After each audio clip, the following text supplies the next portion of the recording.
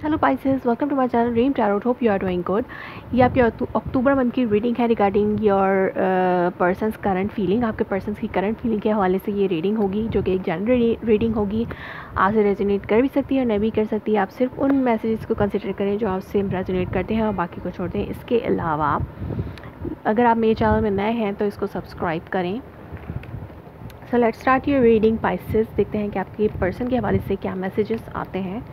Currently आपके person की क्या एनर्जी है pieces so let's see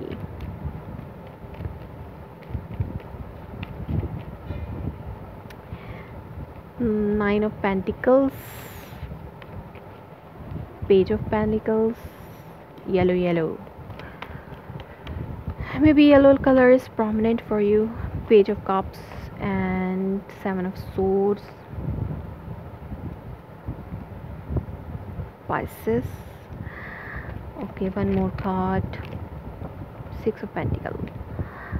Okay underneath आपके पास है एट ऑफ़ पेंटिकल आपके पर्सन जो है वो इस टाइम अमेंडमेंट चाहते हैं फिक्सिंग चाहते हैं जो भी आपके रिलेशनशिप में हुआ उसके हवाले से वो फिक्स चा, फिक्सिंग चाहते हैं और हो सकता है अमेंडमेंट और चीज़ों को हैप्पी फैमिली इमोशनल फुलफिलमेंट चाहते हैं आपके पर्सन और इसको फिक्स करना चाहते हैं। अगर कोई फैमिली इशू था आपके पर्सन को भी इन्वॉल्व करके आपको इन्वॉल्व करके और फैमिली को भी शायद इसमें फैमिली भी इन्वॉल्व है तो इसमें अब इसमें फिक्सिंग चाहते हैं आपके पर्सन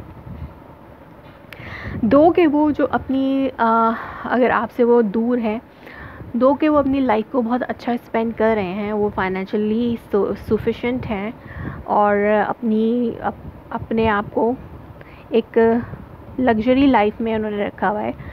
सिंगल जो लाइफ है इस वक्त उनकी, वो अबंडेंट है और लेकिन वो आपके आपके साथ दोबारा से रिकनसाइल करना चाहते हैं। अब वो चाहते हैं ज़रूरी नहीं है कि अपॉलोजी हो, वो अब चाहते हैं कि चीज़ों को रिज़ॉल्व हो जाना चाहिए। अब उनकी तरफ़ से भी आपको एक ऐसा जेस्चर मिल सकता है कि वो चाहते हैं कि चीज़ें रिज़ॉल्व हो जाएँ। और वो चाहते हैं कि चीज़ें जैसे लाइक ठीक हो जाएँ और उनकी तरफ़ से कोई फ़ाइट लाइक अगर आप इस वक्त उनके पास जाके बात करेंगे तो वो जो है बिल्कुल भी कोई फ़ाइट नहीं करेंगे आपसे। वो आपके चीज़ों को रिज़ॉल्व करने के मूड में होंगे।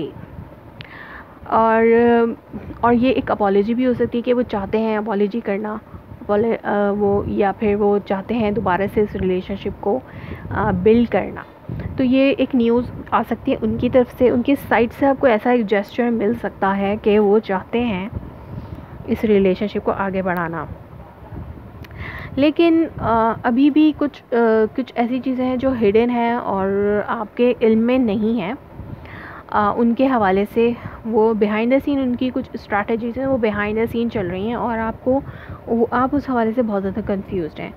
तो हो सकता है वो आम, कुछ ऐसी स्ट्रेटजीज़ कर रहे हों इस रिलेशनशिप को बिल्ड अप करने के लिए दोबारा, जिसमें जो कि आपसे हिडन है और इस वक्त वो, हो सकता है वो इस वक्त चैरिटी में भी बहुत ज़्यादा इन्वॉल्व हों, हो सकता है सीक्रेट चैरिटी करते हों वो और गिव एंड टेक लाइक इस वक्त वो सीक्रेटली यही सोच रहे हैं कि वो गिव एंड टेक के लिए रेडी हैं और, या फिर वो बिहाइंड द सीन कुछ ऐसी चीज़ें कर रहे हैं, चीज़ों को बैलेंस करने की कोशिश कर रहे हैं और इसका आपको इल्म नहीं है। बिहाइंड द सीन वो अमेंडमेंट करना चाहते हैं।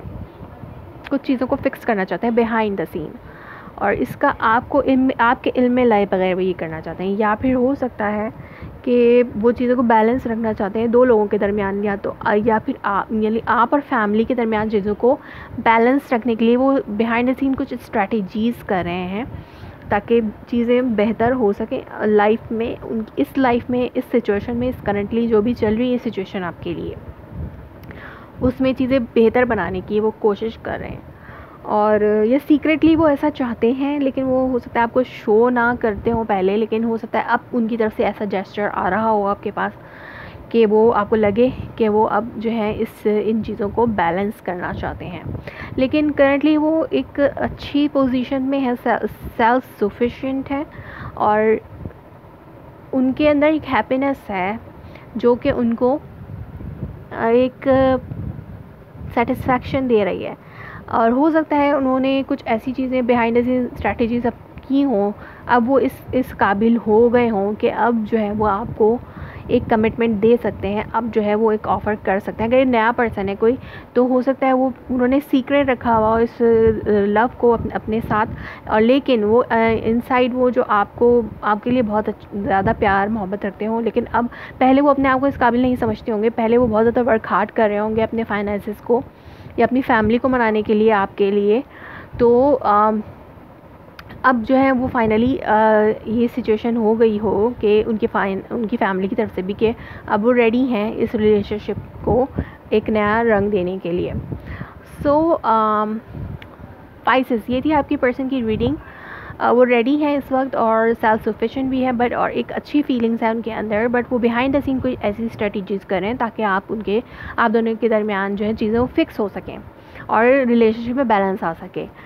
सो पाइसेस ये थी आपकी reading for the month of October if it's ज़रूरी please let me confirm in comment below like my video subscribe my channel thanks for watching